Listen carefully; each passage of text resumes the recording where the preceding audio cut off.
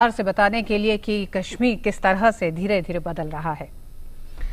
केंद्र सरकार द्वारा शुरू की गई प्रधानमंत्री किसान सम्मान निधि योजना देश के लाखों किसानों के लिए वरदान साबित हो रही है। सीमांत किसानों को आर्थिक सहायता देने के लिए सरकार ने यह योजना लागू की है, जिसके तहत एक साल में किसानों के बैंक खाते में प्रत्यक्ष अंतरण के ज़रिए छह हज़ार रुपए दिए जा रहे हैं।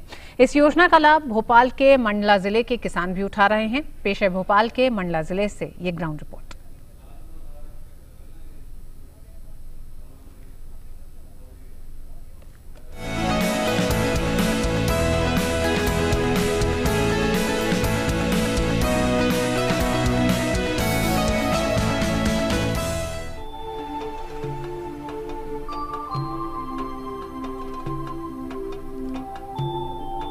भोपाल के मंडला ज़िले के किसान प्रधानमंत्री किसान सम्मान निधि योजना से लाभान्वित हो रहे हैं। मंडला ज़िले के गाजीपुर गाँव के किसान रामू प्रसाद बताते हैं कि पहले उन्हें बीज खरीदने और फ़सल बोने के लिए कर्ज लेना पड़ता था, लेकिन अब उन्हें इस योजना से काफ़ी मदद मिल रही है।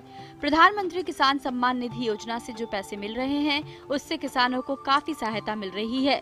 इस योजना के लिए वे प्रधानमंत्री का शुक्रिया अदा करते हैं। को ये फ़ायदा होगा कि हमारे जो जेवर जाता हम सेठ साहूकारों के पास में रखते थे, वो अब हमको रखना नहीं पड़ेगा।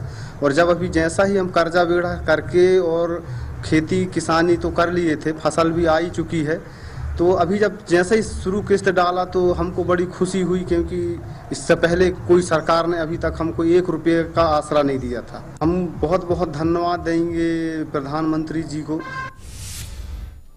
प्रधानमंत्री किसान सम्मान निधि योजना 2022 तक किसानों की आय दोगुनी करने के सरकार के लक्ष्य की दिशा में एक महत्वपूर्ण कदम है।